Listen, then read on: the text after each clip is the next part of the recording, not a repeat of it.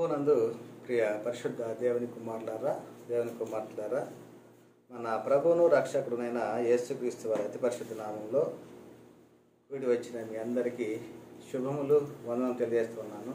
దేవునికి స్తోత్రములు. ఈ రోజున ప్రారంభంలో మరి లేఖన భాగాన్ని మనము చదువుకుందాం. మరి అపోస్టైన్ పౌల్ గారు కొరంతికి రాసినటువంటి రెండవ పత్రిక ఐదవ అధ్యాయము ఒకటి నుంచి మూడు వచనాల వరకు మనం చదువుకుందాం ఒకటి నుంచి రెండు వచనాలు.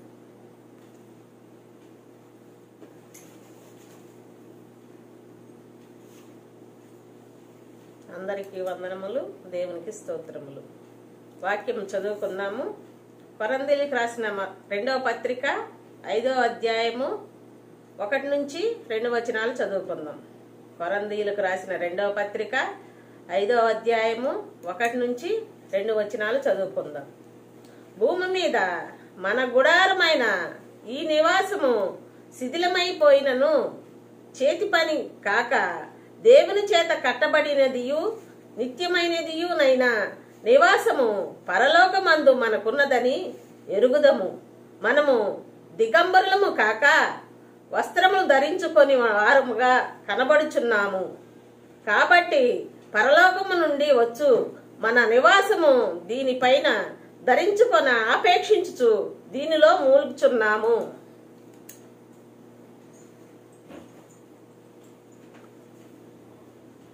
ప్రభునందు ప్రియ పరిశుద్ధ దేవుని కుమారులారా మా వాక్యాన్ని ప్రారంభించుకుందాం.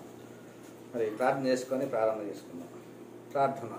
మమ్మల్ని మిక్కిలిగా ప్రేమించిన మా ప్రియ పరలోక తండ్రి మీ ఘనమైన అత్యున్నతమైన మహోన్నతమైన నామను బట్టి స్థుతులు స్తోత్రం ఆయన తండ్రి మరి ఇప్పటివరకు తండ్రి నీ కాపుదల భద్రపరిచి నువ్వు సజీవులుగా ఉంచి నీ రెక్కల చాటు భద్రపరిచినటువంటి విధానాన్ని బట్టి స్థుతులు స్తోత్రం చెల్లిస్తున్నాను ఆయన అవును తండ్రి. ఈ రోజున వాక్యాన్ని ప్రకటించడానికి సిద్ధపడినటువంటి మీ యొక్క కుమారుని విషయంలో తండ్రి. మీ యొక్క శక్తిని జ్ఞానాన్ని దయచేయండి ఆయన. అవును మరి ఇటు రీతిగా వింటున్నటువంటి ప్రతి ఒక్కరిలో తట వాక్యాన్ని ఫలింపు చేయండి. ఆ వాక్య ప్రకారంగా అనుసరించి జీవించడానికి ప్రవర్తన సిద్ధపరచండి ఆయన మరి ఈ యొక్క ఆన్లైన్ ద్వారా వింటున్న ప్రతి ఒక్కరి వద్ద కూడా మీ యొక్క వాక్యాన్ని నీరుగట్టి ఫలింపు చేయమని అతి త్వరలో రానై ఉన్నటువంటి మా ప్రభువును రక్షకుడు నేను యేసుక్రీస్తు వారి అతి పరిశుద్ధ నామంలో మిక్కిలి వినయంగా ప్రార్థించి పెట్టుకుంటున్నాం పరమ తండ్రి.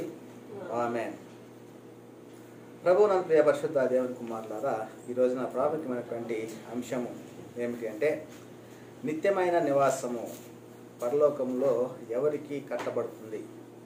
ఏమిటది? నిత్యమైన నివాసము పరలోకంలో ఎవరికి కట్టబడతా ఉంది అనేటువంటిది మనం ఈ రోజున ప్రాముఖ్యమైనటువంటి అంశంగా మనం నేర్చుకున్నాం పిల్లరా. మరి ఎందుకంటే మరి చాలా మందిలో ఉన్నటువంటిది అపోహ ఏమిటంటే బాప్తిసం తీసుకుంటే చాలు మేము రక్షణ పొందినట్లే అనేటువంటి వారు నేటి కాలంలో లేకపోలేదు ప్రియులారా అయితే వాస్తవానికి బాప్తిసం తీసుకున్న వారు అందరూ కూడా నిత్యమైన నివాసము మరి పరలోకంలో ఉంటుందా?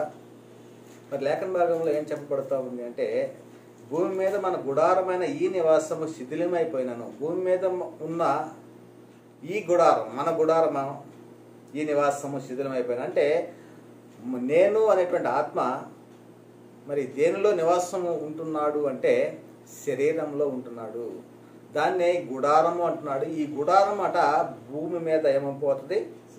శిథిలమైపోయేటువంటిది అనమాట అంటే మొన్నైపోయేటువంటిది ఉన్నది కనుక చేతి పని కాక. అంటే చేతితో చేసినటువంటిది కాకుండా దేవుని చేత కట్టబడినదియు నిత్యమైన నివాసము పరలోకమందు మనకున్నదని ఎరుగుదుము. ఎవరికి ఉంటుంది పరలోకంలో ఈ యొక్క నిత్యమైన నివాసము? అంటే ఈ రోజున అదే ప్రాముఖ్యమైనటువంటి విషయం. ఇంకేమంటున్నాడంటే మనము దిగంబరులము కాక వస్త్రము ధరించుకుని వారముగా కనబడదము. కాబట్టి పరలోకం నుండి వచ్చు మన నివాసము దీనిపైన ధరించుకొన నాపేక్షించుచు దీనిలో మూలుగుచున్నాము దేనిలో మూలుగుచున్నాము అంటే ఈ యొక్క గుడారము శిథిలమైపోయేటువంటి ఈ గుడారంలో నేను మనము అయి ఉన్నటువంటి ఆత్మ ఏం చేస్తూ ఉన్నాడు అంటే మూలుగుచ్చు ఉన్నాడట. ఎందుకోసము?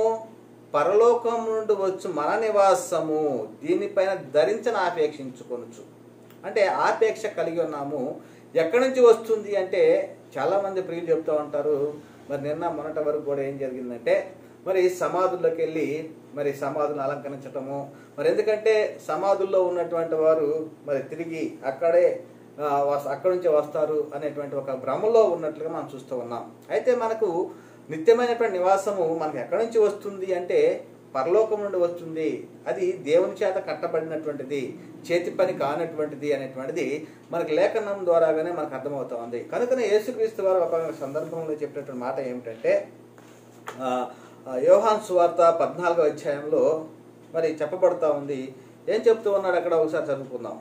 రెండవ వచనం. మొదటి నుంచి చూ- చదువుకుందాము. పద్నాలుగో అధ్యాయము ఒకటో వచనం.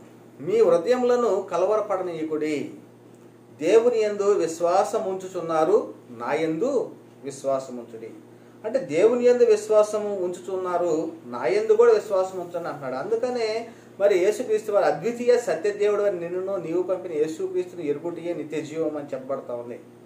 మరి అద్వితీయ సత్యదేవుడి దేవుడు ఆయన నిన్ను నీవు పంపిన యేసుక్రీస్తు అంటే ఇద్దరిని ఎరిగి ఉండాలి. ఏ విధంగా ఎరిగి ఉండాలి? దేవుడు పంపగా వచ్చినవాడు యేసుక్రీస్తు వారు అని మరి దేవుణ్ణి బయలుపరచడానికి ఈ లోకంలోకి వచ్చినవాడు యేసుక్రీస్తు వారు అని మరి సర్వ మానవాళికి సమస్త జనులకు రక్షణ యేసుక్రీస్తు ద్వారానే కలుగుతుంది అని. మరి దేవుడు మరి జగత్తు పునాది వేయబడక మునిపే యేసుక్రీస్తు వారిని తన పని నిమిత్తము నియమించుకున్నాడు అని. యేసుక్రీస్తు ద్వారాగా తనకు అనేక మంది కుమారులు కావాలని దేవుని యొక్క అనాది సంకల్పం అని మరి ఈ విధముగా దేవుని యొక్క అనాది సంకల్పమైనటువంటి యేసుక్రీస్తు వారి గురించి మనం స్పష్టంగా తెలుసుకోవాలి. అయితే యేసుక్రీస్తు వారిని మరి ఎరిగి ఉండాలి ఈ విధముగా. అయితే దేవుణ్ణి కూడా ఎరిగి ఉండాలి అంటున్నాడు. అద్వితీయ సత్యదేవుడు నిన్ను అంటున్నాడు. అంటే సత్యదేవుడే నిన్ను ఎలా ఎరిగి ఉండాలి మనము? అంటే మానవాళి మొత్తం కూడా నాశనం అయిపోయింది నశించిపోయినటువంటి స్థితిలో ఉన్నది ఈ లోకము. కనుక నశించిన వారిని వెతక రక్షించడానికి తన కుమార్ని ఈ లోకానికి పంపాలి అనేటువంటి ఒక సంకల్పాన్ని కలిగి ఉన్నాడు. తన సంకల్పం నిమిత్తం యేసుక్రీస్తు జగత్ పునాది వేయబడకుండా నియమించి ఉన్నాడు. మరి తన ద్వారా యేసుక్రీస్తు ద్వారా తనకు అనేక మంది కుమారులు కావాలని కోరుకున్నాడు. మరి దానిని బట్టి యేసుక్రీస్తు వారిని ఈ లోకానికి పంపించటము కాలం పరిపూర్ణమైనప్పుడు. ఆ పంపినటువంటి యేసుక్రీస్తు వారు ఏం చేసి ఉన్నాడంటే తన యొక్క శరీరము ద్వారా పాప శరీరాకారంతో వచ్చి మరి మరణం నిరర్థకం చేసినట్లు మనం చూస్తూ ఉన్నాం. అంటే ఏదైతే నశించిపోతున్నట్టు స్థితిలో ఉందో ఆ యొక్క ఆత్మను రక్షించడానికి దేవుని యొక్క సంకల్పంలో యేసుక్రీస్తు వారు వచ్చి దేవుని యొక్క పనిని సంపూర్ణంగా నెరవేర్చి భూమి మీద దేవుని మహిమపరిచిన వాడుగా మనం చూస్తున్నాం పిల్లలు ఇది మరి అద్వితీయ సత్యదేవుని నిన్ను నీవు పంపిన యేసుక్రీస్తుని ఎరుగుటియే నిత్య జీవము. అంటే తండ్రి అయిన దేవుడు ఉన్నాడు ప్రభు యేసుక్రీస్తు వారు ఉన్నారు ఇద్దరు వేరు వేరు వ్యక్తులుగా ఉన్నారు అనేటువంటిది ప్రాముఖ్యంగా మనం తెలుసుకోవాలి. కనుకనే మీరు దేవుని ఎందు విశ్వాసం ఉంచండి నా ఎందును? విశ్వాసం ఉంచుడి అనేటువంటి మాట ప్రభు నేసుక్రీస్తు చెప్తున్నాడు. మరి ఎందుకు చెప్తూ ఉన్నాడంటే నా తండ్రి ఇంట అనేక నివాసములు కలవు. ఎక్కడ తండ్రి ఇల్లు? పరలోకంలో. అంటే పరలోకంలో మరి ఏమై ఉన్నవి అంటే అనేక నివాసములు ఆయన కలవు అంటున్నాడు. లేని ఎడ్ల మీతో చెప్పుదును మీకు స్థలము సిద్ధపరచ వెళ్ళుచున్నాను ఏది? ఏ దేని స్థలము? అంటే నేను అనబడేటువంటి ఆత్మ నివాసించటానికి మరి దేవుని చేత కట్టబడేటువంటిది చేతి పని కానటువంటిది ఒక నివాస స్థలాన్ని సిద్ధపరచడానికి నేను వెళ్తూ ఉన్నానని యేసుక్రీస్తు వారు మరి ఇక్కడ చెప్పినట్లే మనం చూస్తున్నాం. అదే విషయాన్ని కనుక మనం పరిశీలన చేసినట్టయితే అపోస్తుల బోధలో మరి రాబో వాస్తవమైన జీవమును సంపాదించుకుని నిమిత్తము రాబో కాలమునకు మంచి పునాది తమ కొరకు వేసుకొనుచునేటువంటి మాటను చెప్పబడతా ఉంది. రాబో కాలానికి ఏం జరుగుతూ ఉంది? మంచి పునాది. దీనికి ఏమంటున్నాడు? వాస్తవమైన జీవనం సంపాదించుకోవటానికి. అంటే ఈ లోకంలో ఈ శరీరంలో మనం ఎంతకాలం ఉంటాము?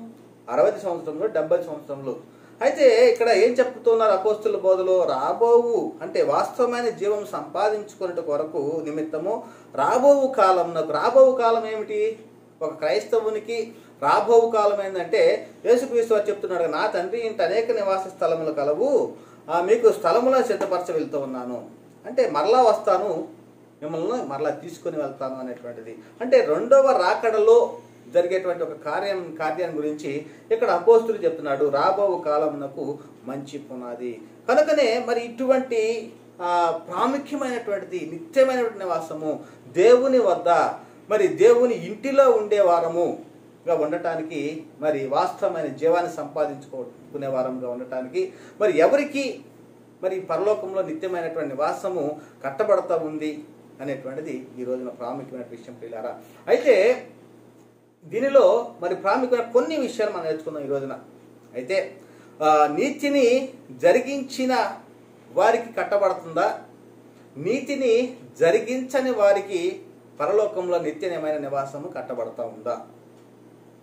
అదే విధముగా సత్యవాక్యమును సరిగా ఉపదేశించు వారికి పరలోకంలో నిత్యమైన నివాసము కట్టబడతా ఉందా? లేకపోతే సత్యవాక్యమును కలిపి చెరిపెడి వారికి పరలోకంలో నిత్యమైన నివాసము మరి కట్టబడుతూ ఉందా? ఎవరికి నిత్యమైన నివాసం కట్టబడతా ఉంది? ఈ రోజున ప్రాముఖ్యమైనటువంటి ఈ యొక్క కొన్ని విషయాలను మనం నేర్చుకుంది. ఇంకా ఏమిటంటే ఆత్మ యొక్క నియమం చొప్పున నడుచుకుని వారికి నిత్యమైన నివాసము కట్టబడతా ఉందా? లేకపోతే పాప మరణంలో నియమంలో చొప్పున నడిచిన వారికే నిత్యమైన నివాసం కట్టబడతా ఉందా? మరి వాక్యానుసారముగా బాప్త్యసం పొందిన వారికి నిత్యమైన నివాసము కట్టబడతా ఉందా? వాక్యానుసారంగా లేనటువంటి బాప్త్యసం పొందిన వారికి నిత్యమైనటువంటి నివాసము మరి కట్టబడతా ఉందా? ఎవరికి? పరలోకములో మరి చేతి పని కాక జి- దేవుని చేత కట్టబడేటువంటి నిత్యమైనటువంటి నివాసము మరి కట్టబడతా ఉంది. ఇది ప్రాముఖ్యమైనటువంటి ఒక క్రైస్తవుడిగా నిరీక్షణ కలిగినటువంటి వ్యక్తిగా మరి రాబోయేటువంటి కాలానికి మరి మంచి పునాది వేసుకోవటానికి రాబో కాలానికి అంతే కదా? వాస్తవమైన జీవంను సంపాదించుకునే నిమిత్తము. మరి ఇటువంటి స్థితిలో ఉన్నటువంటి మనము మరి ఏ విధంగా ఉంటున్నాము? వాక్యమునకు లోబడి లోబడ్డామా? లోబడలేదా? మొదటగా ప్రశ్న వేసుకుందాం. అయితే వాక్యానికి లోబడటం అంటే ఏమిటి?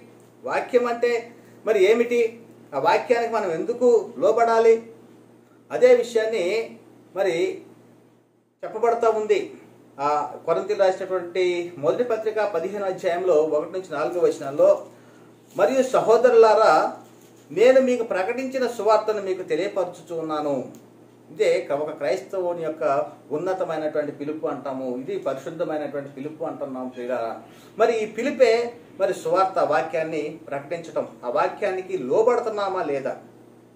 ఎందుకొరకు లోబడాలి మనము? మరి ఎందుకోసం మనము ఒక వాక్యాన్ని వినాలి అనేటువంటిది కనుక పరిశీలన చేసినట్టయితే ఇక్కడ చెప్పబడతా ఉంది. మీరు దానిని అంగీకరించి తిరిగి దాని ఎందే నిలిచి ఉన్నారు. మీ విశ్వాసం వ్యర్థమైతేనే కానీ నేను ఏ ఉపదేశ రూపముగా సువార్త మీకు ప్రకటించి తినో ఆ ఉపదేశమును మీరు గట్టిగా పట్టుకొని ఉన్న ఎడల ఆ సువార్త వలననే మీరు రక్షణ. పొందువారైందరు ఏ సువార్త వలన రక్షణ పొందుతారు? అంటే చెప్పబడుతూ ఉంది నాకు ఈబడిన ఉపదేశమును మొదట నీకు అప్పగించితని. అదేమనగా లేఖనముల ప్రకారము క్రీస్తు మన పాపం నిమిత్తము మృతి పొందెను సమాధి చేయబడను. లేఖనముల ప్రకారం మూడవ దినమున. లేపబడెను. ఇది సువార్త. ఈ సువార్తను గనక అంగీకరించిన వారు ఈ సువార్తకు లోబడినటువంటి వారు ఎవరైతే ఉంటారో వారికి నిత్యమైనటువంటి నివాసము కట్టబడుతుంది అనేటువంటి విషయాన్ని మనకు స్పష్టంగా అర్థమవుతోంది. ఇదే విషయాన్ని మరి అపోస్తులు ప్రకటించినటువంటి బోధలో తెస్సులో రాసినటువంటి మొదటి పత్రికలో మొదటి అధ్యాయం ఏడు నుంచి ఎనిమిది వచ్చిన చెప్పబడతా ఉంది. దేవుని ఎరుగని వారికి మన ప్రభు అయిన యేసు సువార్తకు లోబడని వారికి ప్రతిదండన అంటున్నాడు. అంటే ఎవరికి ప్రతిదండన జరుగుతుంది అంటే దేవుని ఎరగనటువంటి వారు. మరి నేటి కాలంలో అనేక మంది దేవుడు ఎవరో తెలియనటువంటి పరిస్థితిలో ఉన్నారు. నిజముగా నేటి కాలంలో దేవుడు ఎవరయ్యా అనేటువంటి ఒక ప్రశ్న వేస్తే ఎక్కడికి వెళ్ళినా కానీ మీరు ఒక ప్రశ్న అడగండి. ఒక క్రైస్తవులుగా మరి మీ ఎందు మీరు ఉన్నటువంటి ఒక తీరులో మరి ఒక ప్రశ్న కనుక మీరు అనేక ప్రాంతాల్లోకి వెళ్తూ ఉన్నప్పుడు అనేక మంది మనకి క్రైస్తవులు అని పిలవబడుతున్నారు కనిపించినప్పుడు మీరు ఒకే ఒక ప్రశ్న వేయండి. మీకు దేవుడు ఎవరు? అనేటువంటిది ఒక ప్రశ్న వేసినట్లయితే మాకు దేవుడు తండ్రి మాకు యేసు క్రీస్తు అనేటువంటి మాటలు మనం వింటూ ఉన్నాం. నిజముగా మరి దేవుడు ఎవరు తండ్రి ఎవరు అనేటువంటిది కనుక లేఖనాలు పరిశీలన చేసినట్లయితే అందరికీ తండ్రి అనే దేవుడు ఒక్కడే అని ఏబిసి పత్రికలో చెప్పబడతా ఉంది. అందరికీ అంటే ఎవరికి? అంటే శరీరము ఒక్కటే. అంటే సంఘముగా చేర్చబడినటువంటి వారందరికీ అదేవిధంగా ఆత్మయు ఒక్కడే అని చెప్పబడుతోంది. అది పరిశుద్ధాత్ముడికిని ఇంకా అదే విధముగా ప్రభువు ఒక్కడే అని చెప్పబడుతుంది. ప్రభువుకి యేసుక్రీస్తు వారికి అదే విధముగా ఈ అందరికీ కూడా తండ్రి అనే దేవుడు ఒక్కడే అందరిలోని వ్యాపించి ఉన్నాడు అనేటువంటిది మనకు లేఖనం చెప్పబడతా ఉంది. అంటే అందరికీ తండ్రి అనే దేవుడు ఒక్కడే ఉన్నాడు. ఆయన పేరు యహోవా. అంటే నేటి కాలంలో దేవుడు ఎవరు? అని అంటే స్పష్టత లేనటువంటి వారు. అందుకని ఇక్కడ చెప్పబడుతోంది దేవునిని ఎరగని వారికి అంటున్నాడు.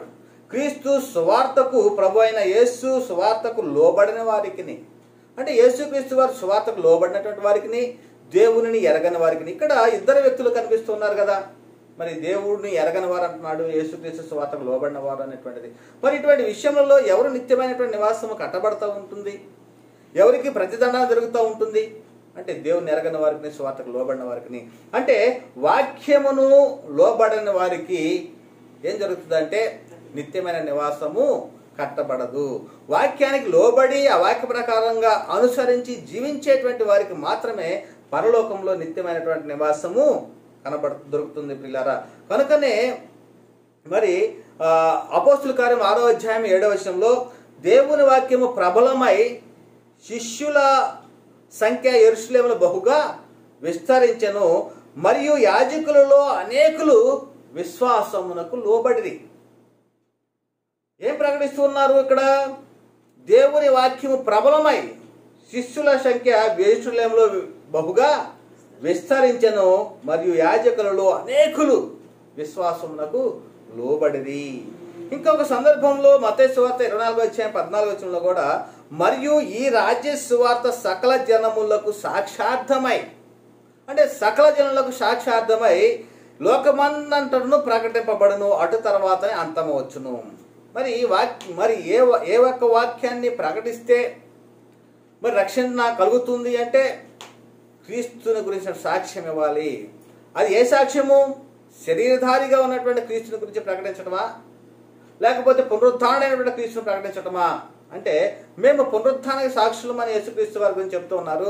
తండ్రి అని దేవుని కుడిపార్శ్వం ఆశీనుడే మన కొరకు విజ్ఞాపం చేస్తూ ఉన్నటువంటి యేసుక్రీస్తు వారిని మేము చూస్తున్నాం అని చెప్పేసి అని లేఖనం చెప్పబడతా ఉంది. కనుకనే యేసుక్రీస్తు వారి విషయంలో మనము ప్రకటించవలసినది ఆయన యొక్క పునరుత్థానానికి సాక్షులుగా ఉండాలి.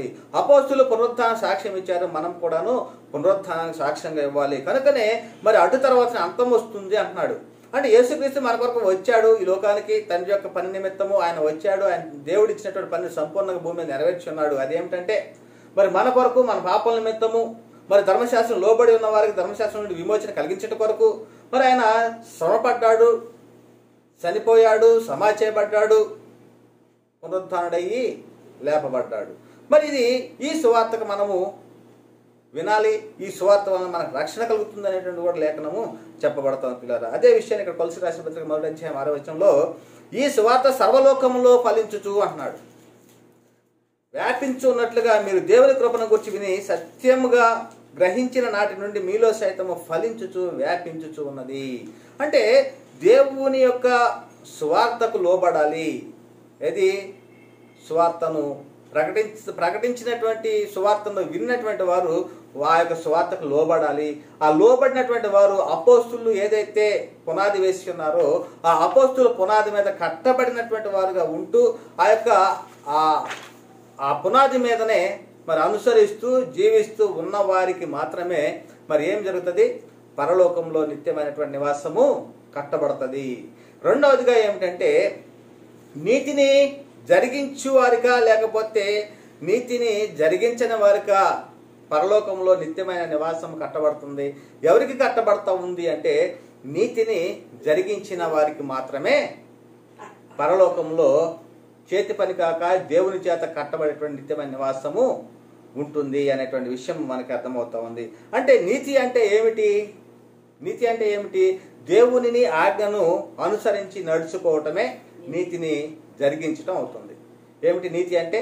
దేవుని ఆజ్ఞను అనుసరించి జీవించటమే నీతి జరిగించటం అనేటువంటి విషయం మనకు అర్థమవుతుంది. కనుకనే మరి ఒక సందర్భంలో మరి యేసుక్రీస్తు వారు చెప్తున్నట్టు మాటను ఏమంటున్నాడంటే మొదట మీరు ఆయన రాజ్యమును నీతిని వెతకండి. అప్పుడు అవన్నీ కూడా మీకు అనుగ్రహింపబడిన అంటున్నాడు. అంటే నీతిని రాజ్యమును వెతకాలి అనేటువంటి విషయాన్ని ప్రభు నేసుక్రీశ్వర ప్రత్యక్షంగా బోధించిన కాలంలో ఆయన చెప్పినట్లుగా మనం చూస్తూ ఉన్నాం ప్రియులారా. అదే విధముగా మరి నోవాహ దినాల్లో నీతిని ప్రకటించాడు అని లేఖనం చెప్పబడతా ఉంది. పేతుడు రాసినటువంటి రెండవ పత్రికలో మరి రెండవ అధ్యాయము ఐదవ వచనం చెప్పబడతా ఉంది. నీతిని ప్రకటించినటువంటి నోవాహు అని.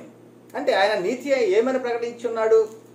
చూద్దాం ఒకసారి. మరియు ఆయన పూర్వకాలం అందున లోకమును విడిచిపెట్టక భక్తిహీనుల సమూహం మీదకి జలప్రలయమును రప్పించినప్పుడు నీతిని ప్రకటించిన నోవాహును మరి ఏడుగురిని కాపాడెను.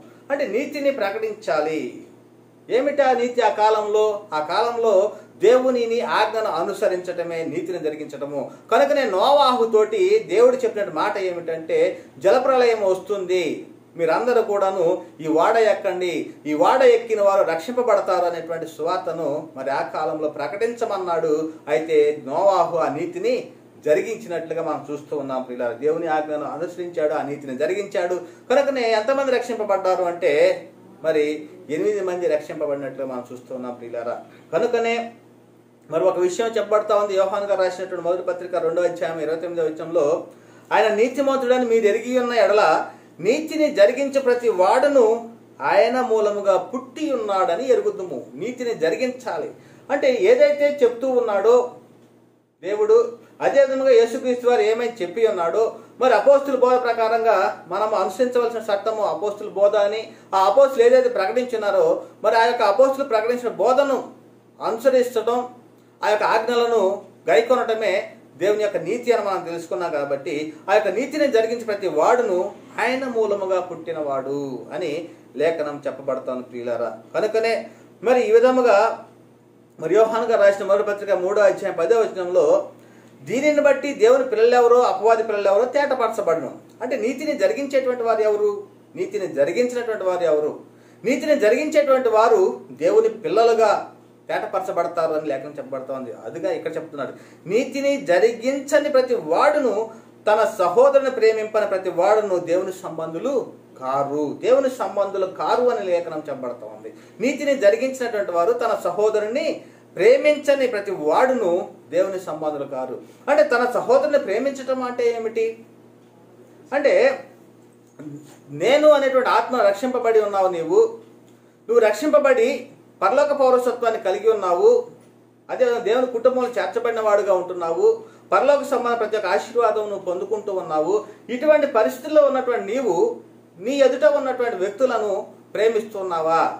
అంటే నిన్ను వలె నీ పొరుగువాన్ని ప్రేమించు. తన సహోదరుని ప్రేమింపనవాడు ఏమంటున్నాడు? దేవుని సంబంధులు కారు అని చెప్తున్నాడు. అంటే నువ్వు ఆత్మను రక్షించుకున్నావు. అదే విధముగా నీ ఎదుట ఉన్నటువంటి వారి యొక్క ఆత్మను కూడా రక్షించేటువంటి బాధ్యత నీ పైన ఉన్నది. అలాగనే ఆ అందరికీ కూడాను వాక్యాన్ని ప్రకటించాలి. ఆ సువార్తను ప్రకటించాలి. ఆ సువార్తను విని రక్షించిన వారికి బాప్తిస్ము ఇవ్వవలసిన బాధ్యత నీ పైన కూడా ఉంటుంది అని ఏనాడైనా గ్రహించి ఉన్నావు ప్రియులారా. ఒకసారి ఆలోచించండి. కనుకనే తన సహోదరుని ప్రేమించిన ప్రతి వాడు దేవుని సంబంధాలు కాదు అని చెప్పబడతా ఉంది. అంటే ప్రాముఖ్యంగా మరి నీతిని జరిగించటము అంటే ఏమిటో మనకి స్పష్టంగా అర్థమవుతుంది ప్రియులారా. ఒక విషయాన్ని కనుక యేసుక్రీస్తు వారి విషయంలో మనం పరిశీలన చేసినట్లయితే మరి మత్తయి సువార్తలో మూడవ అధ్యాయం ఒకసారి పరిశీలన చేద్దాం ప్రియులారా. మత్తయి సువార్త మూడవ అధ్యాయంలో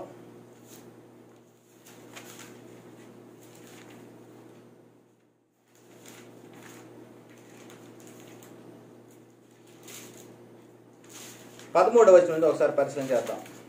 పదమూడు. యేసుక్రీస్తు వారు మరి బాప్త్యసం పొందడానికి యోహాన్ దగ్గరికి వచ్చినప్పుడు అక్కడ ఒక సందర్భాన్ని చెప్తూ ఉన్నాడు. అదేమంటున్నాడంటే ఆ సమయమున యోహాను చేత బాప్త్యసం పొందుటకు యేసు గలలియా నుండి యోర్ధాను దగ్గర ఉన్న అతని వద్దకు వచ్చాను. ఎక్కడికి వచ్చి ఉన్నాడు? యోర్ధాను దగ్గర ఉన్న ఆయన వద్దకు వచ్చాడు. మరి ఎక్కడ ఉన్నాడు ఈయన బాప్త్యసం ఇచ్చి యోహాను? యోర్ధాన్ దగ్గర ఉన్నాడు. యేసుక్రీస్తు వారు ఎక్కడ వచ్చాడు గలిలియా. నుండి వచ్చినట్టు మనం చూస్తున్నాం. అయితే అందుకు యోహాను అంటున్నాడు నేను నీ చేత బాప్తిస్మం పొందవలసిన వాడనై ఉండగా నీవు నా యొద్దకు వచ్చుచున్నావా? అంటే బాప్తిస్మం ఇచ్చి యోహాను యేసుక్రీస్తు వారితో ఏమంటూ ఉన్నాడు అంటే నీ చేత నేను నీ చేత బాప్తిసం పొందవలసిన వాడనై ఉండగా నీవు నా యొద్దకు వచ్చుచున్నావు అని ఆయనను నివారింప చూశాను అంటే బాప్తిసం పొందటానికి మరి నివారింప చూస్తున్నట్లుగా ఆయనను చూస్తూ ఉన్నాం పిల్లారా అయితే ఏమంటున్నాడంటే యేసు ఇప్పటికీ కానిమ్ము ఇప్పటికీ కానిమ్ము. నీతి యావత్తు ఇలా ఇలాగూ నెరవేర్చడం మనకు తగి ఉన్నదని అతనికి ఉత్తరం ఇచ్చాడు నీతి యావత్తు. అంటే నీతిని జరిగించే ప్రతి వాడు కూడాను నీతిమంతుడుగా చెప్పబడతా ఉంది ఈ నీతి అనేటువంటిది ఏమిటి? దేవుడి ఆజ్ఞను అనుసరించటమే నీతి అని చెప్పబడతా ఉంది యేసుక్రీస్తు వారు బాప్తిస్మ ఎందుకు పొందవలసి వచ్చింది అంటే నీతిని జరిగించాలి కనుక. అదే విధముగా ఈ లోకము మొత్తం కూడా ఏం చేయాలి? నీతిని జరిగించాలి. అదే విషయం అక్కడ చెప్తున్నాడు. నీతి యావత్తు ఇలా నెరవేర్చమని తగి ఉన్నది అతనికి ఉత్తరం ఇచ్చాను కనుక అతడు అలాగూ కానిచ్చాను. యేసు బాప్తీసం పొందిన వెంటనే నీళ్ళలో నుండి ఒడ్డునకు వచ్చాను. అంటే బాప్తిసం యేసుక్రీస్తు వారు ఎందుకు పొంది ఉన్నాడు అంటే నీతిని జరిగించడానికి మరి ప్రభు యేసుక్రీస్తు వారు నీతిని జరిగించి ఉన్నాడు. మరి అదే విధముగా మనము కూడా నీతిని జరిగించే వారముగా ఉంటున్నామా లేదా? అంటే బాప్తిష్టం నమ్మి బాప్తిష్టం పొందినవాడు రక్షింపబడును నమ్మని వానికి శిక్ష విధించబడును అనేటువంటి యేసుక్రీస్తు వారి పునరుద్ధానం తర్వాత చెప్పినటువంటి మాటలను బట్టి మనకి ఏం అర్థమవుతా ఉంది? నీతిని ప్రభు యేసుక్రీస్తు వారు తాను ప్రత్యక్షంగా మరి శరీరధారిగా ఉన్న నీతిని జరిగించాడు. దేవుని యొక్క ఆజ్ఞను అనుసరించాడు. అదేవిధంగా ప్రభు యేసుక్రీస్తు వారు మనకేదైతే ఆజ్ఞను ఇచ్చున్నాడో ఆ ఆజ్ఞను కూడా మనం అనుసరించే వారంగా ఉండాలి అనేటువంటిది చెప్పబడుతుంది. అందుకనే నీతిని జరిగించే వారికి మరి పరలోకంలో దేవుని చేత కట్టబడేటువంటి నిత్యమైన నివాసం దొరుకుతుందా? నీతిని జరిగించిన వారికి దొరుకుతుందా అనేటువంటిది ఒకసారి పరిశీలన చేసినట్టయితే నీతిని జరిగించే వారికి మాత్రమే మరి చేతి పని కాక దేవుని చేత కట్టబడే నిత్యమైన నివాసము మరి కట్టబడతా ఉంది అనేటువంటి విషయము మనకు అర్థమవుతా ఉంది. మూడవదిగా మరి సత్యవాక్యమును సరిగా ఉపదేశించు వారిక? సత్యవాక్యమును కలిపి చెరిపేవారిక ఎవరికి పరలోకములో నిత్యమైన నివాసం కట్టబడతా ఉంది? మరి ఈ విషయాన్ని కనుక మనం పరిశీలన చేసినట్టయితే మరి అపోజిట్ పౌలు గారు మరి మరి తిమోతి గారితో కానీ మరి తీతు కానీ మరి అనేకమైనటువంటి సందర్భాల్లో మరి హెచ్చరికలు చేస్తూ ఉన్నట్టుగా మనం చూస్తూ ఉన్నాం. ఎందుకు ఆయన హెచ్చరిక చేస్తూ ఉన్నాడు? అంటే బోధించే వారి విషయంలో మరి స్పష్టత ఉండాలి. మరి బోధించేవారు ఏ విధంగా బోధించాలి? మరి బోధ గనక సరైనటువంటి బోధ కాకపోతే మరి ఏమి జరుగుతూ ఉంటుందో మరి ఇక్కడ చెప్తున్నట్లుగా మనం చూస్తూ ఉన్నాం ప్రియులారా. మరి అదే విషయాన్ని తిమోతి రాసినటువంటి రెండో పత్రిక రెండో అధ్యాయం పదిహేనవ వచనంలో దేవుని ఎదుట యోగ్యునిగాను సిగ్గుపడనక్కరలేని పనివానిగాను సత్యవాక్యమును సరిగా ఉపదేశించువానిగాను నిన్ను నువ్వే దేవునికి కనబరుచుకున్నటకు జాగ్రత్త పడము అంటే దేవునికి కనబరుచుకోవాలి అంటే ఎలా ఉండాలి అంటే దేవుని ఎదుట యోగ్యునిగా ఉండాలి. మొదటగా నీ యొక్క ప్రవర్తనలో యోగ్యమైనటువంటి ప్రవర్తన కలిగిన వాడుగా ఉండాలి. రెండవదిగా ఏమంటున్నాడంటే సిగ్గుపడనక్కరలేని పనివానిగాను. అంటే మనము ఎవరి పనిలోకి వచ్చి ఉన్నాము అంటే దేవుని పని చేయటానికి మనం వచ్చి ఉన్నాము. అందుకనే చీకటిలో నుండి ఆశ్చర్యకరమైన తన వెలుగులోనికి పిలిచిన వాని గుణాతిశయములను ప్రచురం చేయ నిమిత్తము రాజులైన యాజక సమూహమును పరిశుద్ధ జనమును దేవుని సొత్తైన ప్రజలునై ఉన్నారు అనేటువంటి మరి మాట చెప్పబడతా ఉంది పిల్లారా అంటే బాప్తిస్మ ఎప్పుడైతే పొందుకొని ఉన్నావో నువ్వు యాజక ధర్మాన్ని నిర్వర్తించాలి నువ్వు యాజకుడుగా నియమింపబడ్డావు అనేటువంటి విషయాన్ని గ్రహించి గ్రహించిన వారి విషయంలో ఏం చెప్పబడతా ఉంది అంటే దేవుని ఎదుట యోగ్యునిగాను నీ ప్రవర్తన విషయంలో యోగ్యత కలిగి ఉండాలి సిగ్గుపడనక్కర్లేని పనివానిగాను నువ్వు సిగ్గుపడకుండా ఉండేటువంటి పనివానిగాను సత్యవాక్యమును సరిగా ఉపదేశించువానిగాను. అంటే సత్యవాక్యాన్ని సరిగా ఉపదేశించడం ఏమిటి? విభజన చేయాలట. ఫుట్ నోట్లు ఏముంటుంది? సరిగా విభజించువానిగాను. అంటే ఆ కాలము ఎట్టి కాలమును సూచించుచున్నదో మరి ఆ విధముగానే మరి ప్రవక్తలందరూ కూడా ఆ యొక్క వాక్యాన్ని మరి ప్రకటించినట్లు మనం చూస్తూ ఉన్నాం ప్రియులారా. మరి నేటి కాలంలో కూడా మనం కూడా ఎలా ఉంది అంటే సత్యవాక్యాన్ని సరిగా విభజించాలి. మరి నేటి కాలంలో మనం అనుసరించవలసిన చట్టం ఎక్కడుంది పరిశుద్ధ గ్రంథంలో? మరి ఒకప్పుడు దేవుని జనాంగంగా పిలవబడిన ఇస్రాయేలీలు అనుసరించాల్సిన చట్టం ఏమిటి? అనుసరించిన చట్టం ఏమిటి? మనం దేనిని అనుసరిస్తే మనకు నిత్య జీవం కలుగుతుంది పరలోకం నిత్యమ నివాసం కలుగు దొరుకుతుంది అనేటువంటి విషయాన్ని కూడా మనం స్పష్టంగా తెలుసుకోవాలి. కనుకనే ఏమంటూ ఉన్నాడు అంటే నేను నీవే దేవుని కనపరుచుకున్నటకు జాగ్రత్త పడుము అనేటువంటి విషయాన్ని చెప్పబడతామని ప్రియులారా. కనుక ఎఫ్ఎస్సి పత్రికలో నాలుగవ అధ్యాయము పదమూడు నుంచి పదిహేను వచనాల్లో చెప్పబడతా ఉంది. ఇదే విషయాన్ని ఏమంటే పరిశుద్ధులు సంపూర్ణ ఉన్నట్లు క్రీస్తు శరీరం క్షమాభివృద్ధి చెందుటకును పరిచర్య ధర్మము జరుగుటకును ఆయన కొందరిని అపోస్తులుగాను కొందరిని ప్రవక్తలుగాను కొందరిని సువా సువార్థికులుగాను కొందరిని కాపరులుగాను ఉపదేశకులుగాను నియమించను. అందువల్ల మనం ఇక మీదట పసిపిల్లలమై ఉండి మనుషుల మాయోపాయముల చేత వంచనతోనూ తప్పు మార్గంలాగా కుయుక్తితోనూ గాలి కొట్టిపోవునట్లు కల్పింపబడిన ప్రతి ఉపదేశమునకు అటు ఇటు కొట్టుకొని పోవచ్చు అలల చేత ఎగరగొట్టబడిన వారమైనట్లు ఉండక ప్రేమ కలిగి సత్యము చెప్పుచు క్రీస్తు వలె ఉండుటకు మనం అన్ని విషయములలో ఎదుగుదము.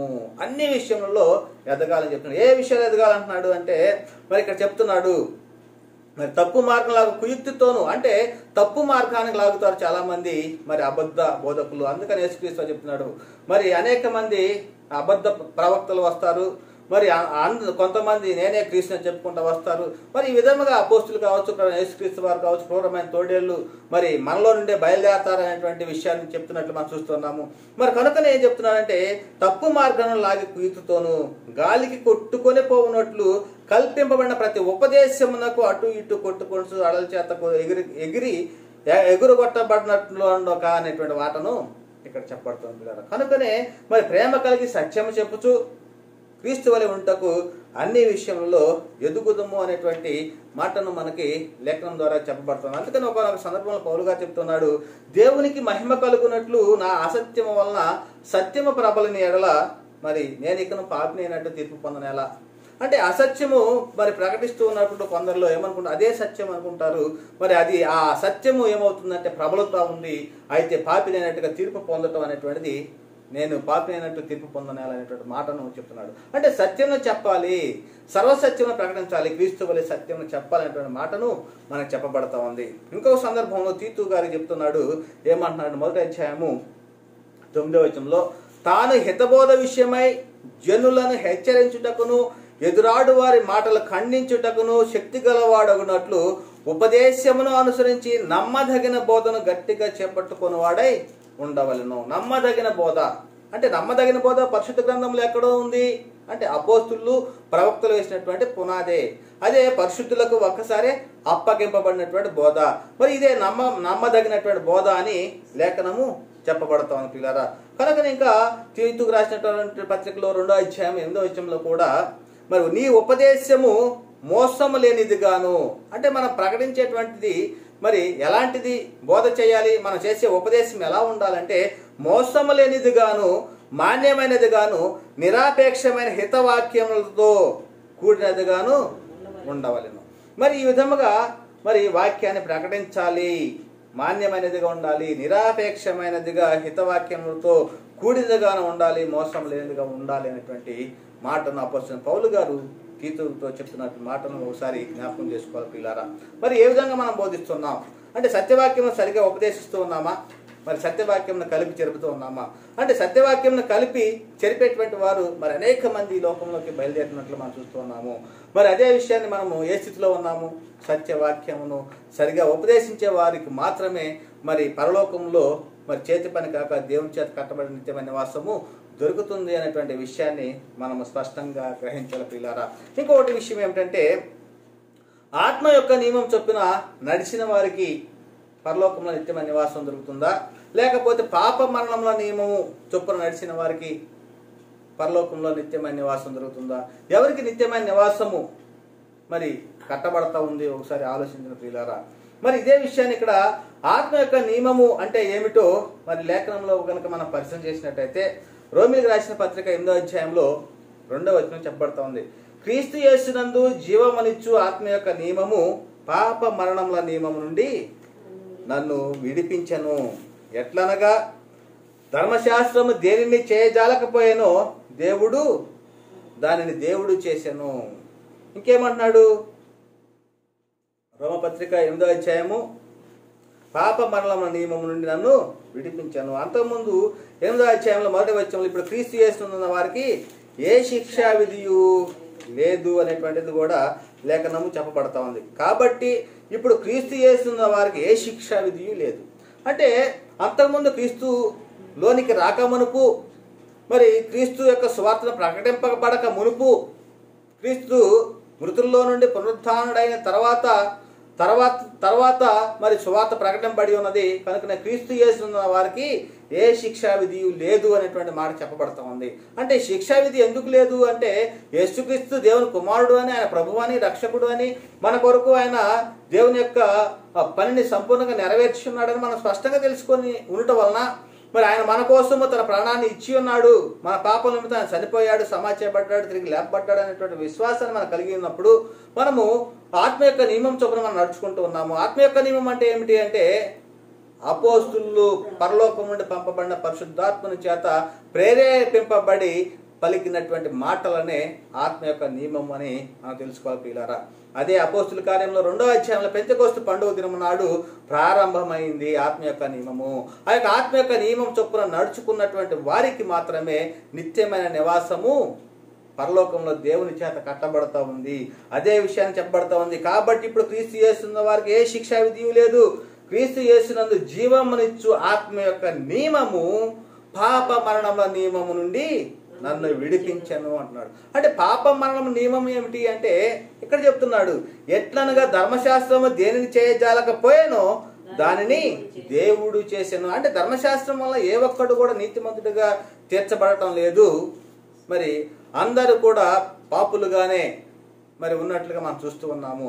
మరి అయితే యేసుక్రీస్తు నందు విశ్వాసం ఇచ్చిన వారు కృపచేతనే రక్షింపబడిన వారుగా ఉంటున్నాము. మీరు ఉచితముగా నీతిమంతులుగా తీర్చబడిన వారుగా ఉంటున్నారు. మరి అందుకని క్రీస్తు యేసున్న వారికి ఏ శిక్షా విధి లేదు అనేటువంటి మాటను చెప్పబడతా ఉంది ప్రియులారా. కనుకనే ఇంకొక సందర్భంలో ఏమంటున్నాడంటే కొరంది రాసినటువంటి రెండో పత్రిక మూడవ అధ్యాయము ఆరో వచనంలో ఈయనే మమ్మల్ని క్రొత్త నిబంధనకు అనగా అక్షరమున కాదు గాని ఆత్మకే పరిచాలకమవుటకు మాకు సామర్థ్యము కలిగించున్నాడు. అక్షరం సంపూర్ణ గాని ఆత్మ జీవింపజేయను.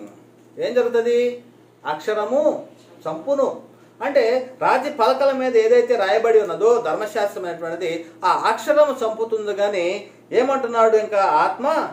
జీవింపజేయను అంటే ఆత్మ యొక్క నియమం చొప్పున నడుచుకున్నటువంటి వారికి మాత్రమే మరి పరలోకంలో దేవుని చేత కట్టబడేటువంటి నిత్యమైన నివాసము దొరుకుతుంది అనేటువంటి విషయాన్ని మరి లేఖనం ద్వారాగా చెప్పబడతా ఉంది. ఇదే విషయాన్ని కనుక మనం పరిశీలన చేసినట్లయితే కొరంది రాసినటువంటి రెండో పత్రిక మూడో అధ్యాయంలో ఏడు నుంచి పద్దెనిమిది వచనాల్లో కూడా మరి పాప మరణంలో నియమం అంటే ఏమిటి? మరి అదే విధముగా ఆత్మ సంబంధమైనటువంటి పరిచర్య చెప్పబడతా ఉంది. ఇంకొక సందర్భంలో శిక్షావిధి కారణమైనటువంటి పరిచర్య అని మరి ఇవన్నీ కూడా మరణ కారణమగు పరిచర్య అని నీతికి కారణమైన పరిచర్య అని మరి మరి ధర్మశాస్త్రం గురించి క్రొత్త నిబంధన గురించి మరి చెప్పినటువంటి సందర్భము చాలా ప్రాముఖ్యమైనటువంటి విషయాన్ని ఇక్కడ చెప్పబడుతూ ఉంది. అపోస్తున్న పౌలు గారు చాలా స్పష్టంగా చెప్తూ ఉన్నాడు ప్రియారా ఏమిటంటే చూద్దాం ఒకసారి. మరణ కారణమగు పరిచర్య. అప్- అపోస్తులైన పౌలు గారు కొరంది రాసిన రెండో పత్రిక మూడో అధ్యాయం ఏడు నుంచి పద్దెనిమిది వచనాలు మరణ కారణమగు పరిచర్య రాళ్ళ మీద చెక్కబడిన అక్షరములకు సంబంధించినదై మహిమతో కూడినదాయను. అది ఇస్రాయేలీలు మరి దేవుని జనాంగంగా పిలబడుతున్నటువంటి ఇస్రాయేలీలకు ఇచ్చినటువంటి మరణ కారణమగు పరిచర్య అంటే ధర్మశాస్త్రము. మరి ఎలాంటిది అంటున్నాడంటే రాళ్ళ మీద చెక్కబడినది అక్షరములకు సంబంధించినదై మహిమతో కూడినది ఆయన అంటున్నాడు. అది మహిమ కలిగిందే అని చెప్తున్నాడు. అయితే అందుకు అందుకే మోషే ముఖము మీద ప్రకాశించున్న ఆ మహిమ తగ్గిపోవునదైనను. ఆ మహిమ ఎలాంటిదంట? తగ్గిపోయేటువంటి మహిమ. అయితే ఇస్రాయిల్ అతని ముఖమును తేరి చూడలేకపోయిరి.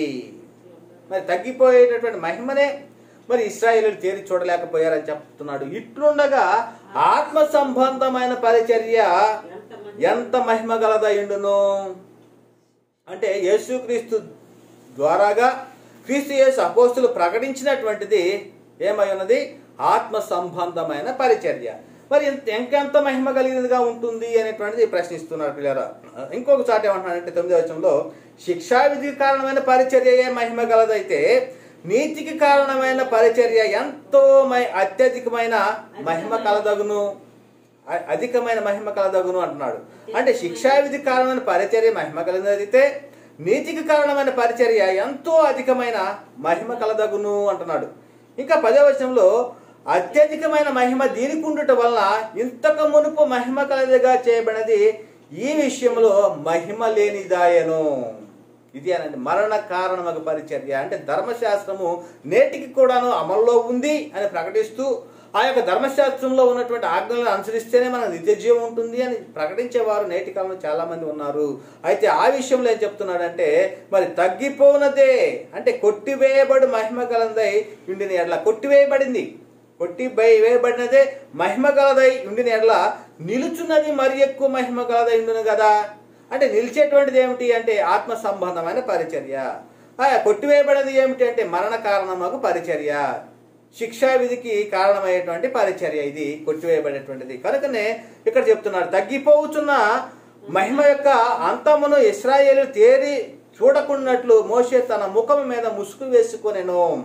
అంటే తగ్గిపోయేటువంటి మహిమ కొట్టివేయబడేటువంటి ధర్మశాస్త్రం యొక్క మహిమ మరి అం- అంతమును ఇస్రాయేలు తేరి చూడకుండానట్లు మోషే తన ముఖము మీద ముసుగు వేసుకొనను. మేమట్లు చేయక. అపోస్తులు చెప్తున్నారు. అపోస్తులు ప్రకటించింది ఏ పరిచర్య ఆత్మ సంబంధమైనటువంటి పరిచర్య మహిమ కలైనటువంటి పరిచర్య. అదే విషయం చెప్తున్నాడు.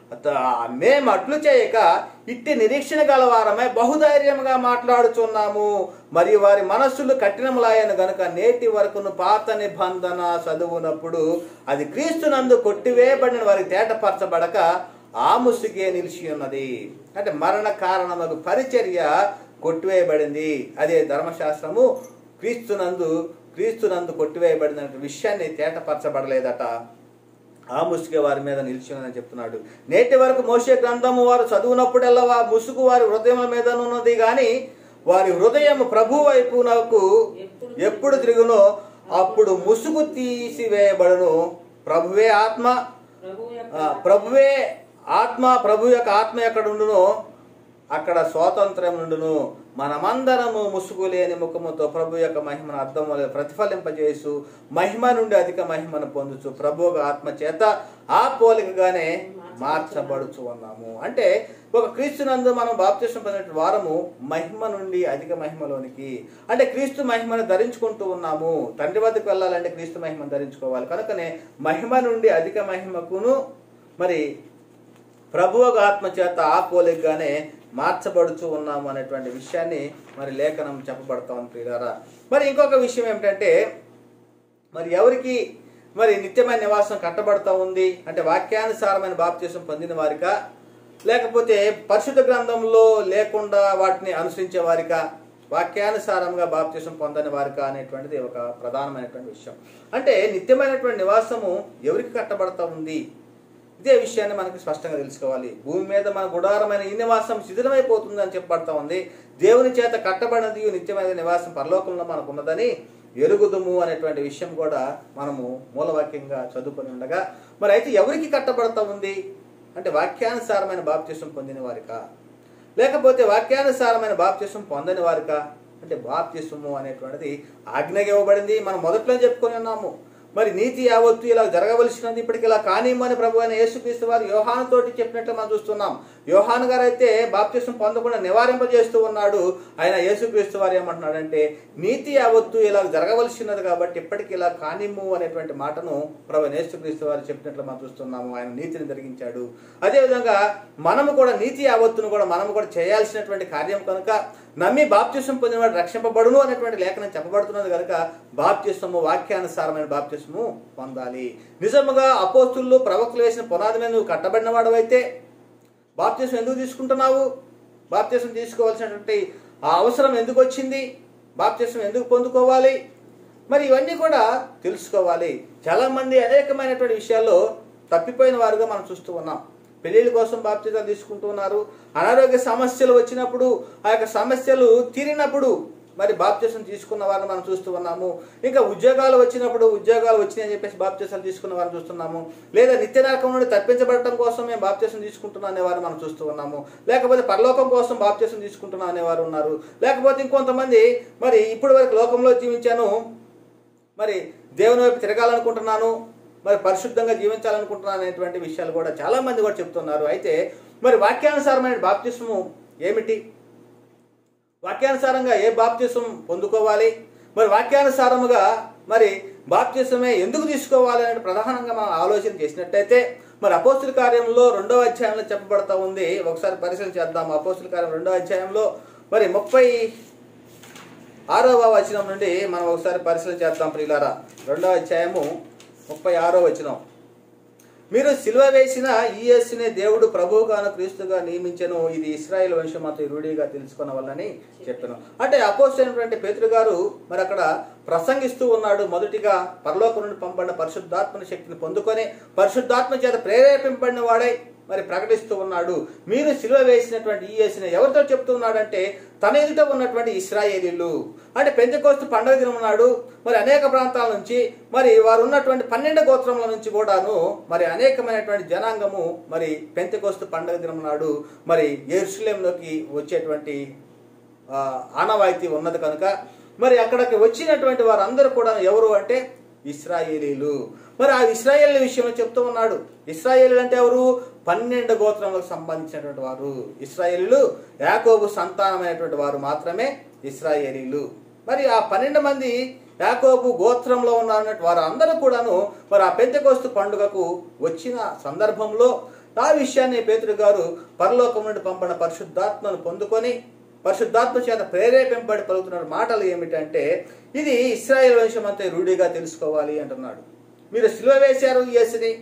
ఆయన ఏం చేసి ఉన్నాడంటే దేవుడు ప్రభువుగాను క్రీస్తుగాను నియమించాడు. ఇది ఇస్రాయేల్ వంశం అంతయు అంటున్నాడు అంటే పన్నెండు గోత్రంలో వారందరూ కూడాను తెలుసుకోవాలి. ఇంకేమంటున్నాడంటే ఆ సందర్భంలో ఆయన అప్పటి వరకు చెప్పినటువంటి యొక్క ప్రసంగంలో పరలోకం పంపబడినటువంటి పరిశుద్ధాత్మ ప్రేరేపింపబడినట్టు చెప్పినటువంటి మాటలలో మరి చెప్పిన వారు ఈ మాట విని హృదయంలో నొచ్చుకున్నారట.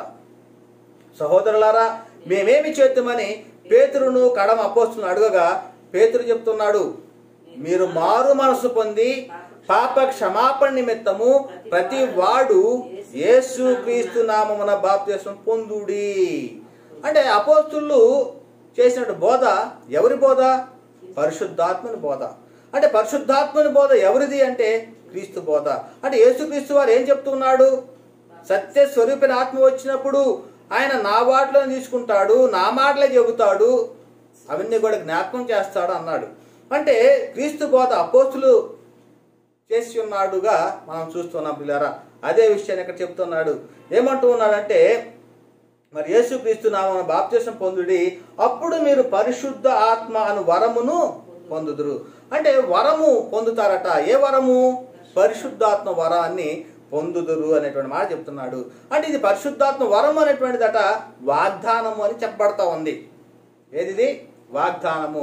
ఏవేల ప్రవక్త ద్వారాగా చెప్పబడిన వాగ్దానం అయితే కాదు కానీ వాళ్ళు అపోస్తులు పొందుకున్నారు. ఏవేల ద్వారా ప్రకటించినటువంటిది వాగ్దానము అపోస్తులు పొందుకున్నారు. అయితే వీరు పొందుకునేటువంటి వాగ్దానం ఏమిటి?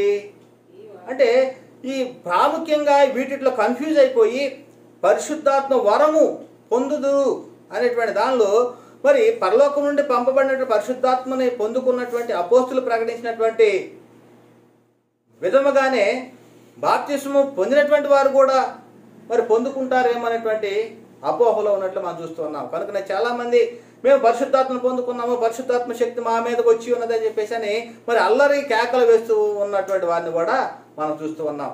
అయితే వాస్తవానికి ఇక్కడ పరిశుద్ధాత్మ వరము అనేటువంటిది వాగ్దానం అని చెప్పబడతా ఉంది. ఈ వాగ్దానము ఏం చెప్తున్నాడు ఇక్కడ? ఈ వాగ్దానము మీకును మీ పిల్లలకును దూరస్తులందరికీ అనగా మన ప్రభు అయిన మన దేవుడు తన యొక్కకు పిలిచిన వారికి అందరికీ చెందుతుందని వారితో చెప్పాను.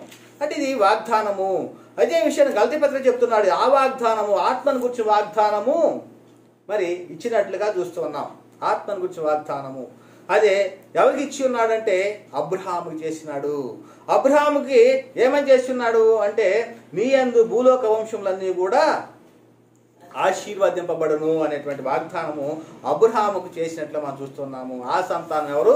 క్రీస్తు అనేటువంటి విషయాన్ని మనకి స్పష్టంగా లేఖనం చెప్పబడతా ఉంది. కనుకనే ఆత్మను గూర్చిన వాగ్దానాన్ని మనం పొందుకుంటున్నాము బాప్తిజంలో.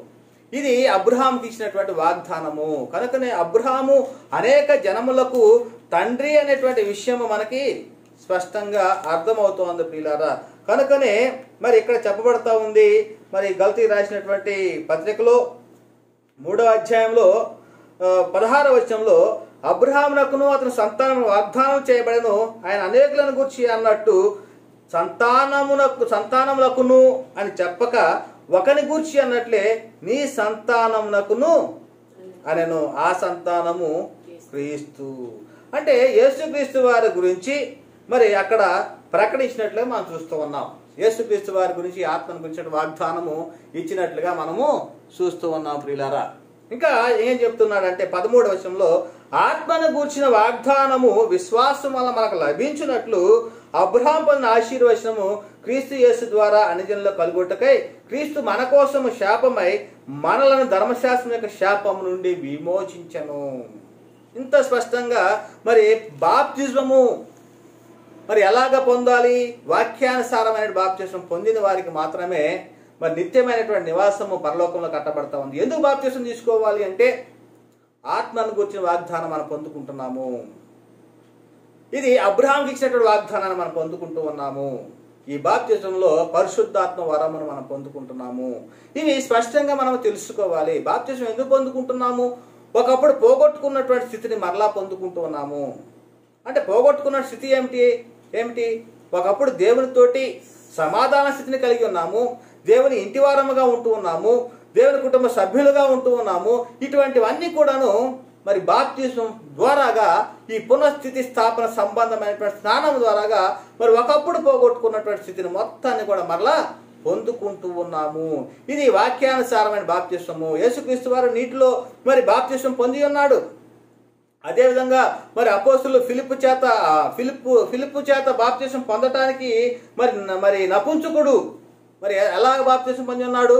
ఇదిగో ఇక్కడ నీళ్ళు ఉన్నవి బాప్తిసం ఇవ్వడానికి ఆటంకం ఏమిటి అని అడిగినప్పుడు మరి వెంటనే ఫిలిప్ చేత మరి నపుంచకుడు బాప్తిసం పొంది ఉన్నాడు. నీళ్ళలో బాప్తిసం పొందినట్లుగా. నేటి కాలంలో అలా కాకుండా చిలకరింపు బాప్తిజాలని జెండా కింద బాప్తిసాలని లేదా సిలువ గుర్తులతో బాప్తీసాలని మరి వాక్యానుసారముగా లేనటువంటి బాప్తిసాలు తీసుకుంటూ ఉన్నారు. ఇది వాక్యానుసారమైనటువంటి కాదు.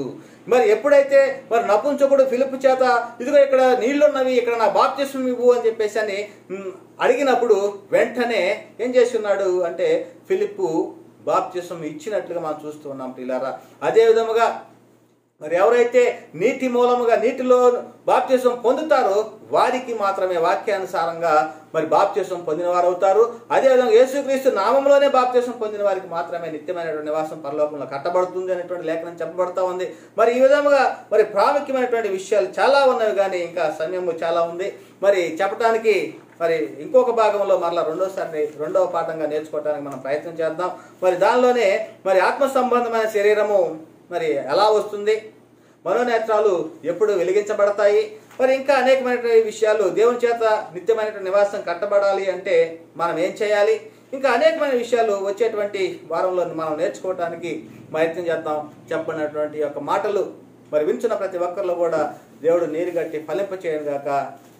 దేవుడి వాక్యాన్ని జీవించి ఆశ్రయించిన గాక. అందరికీ వందనాలు. దేవునికి స్తోత్రములు. ఎంతసేపు వచ్చింది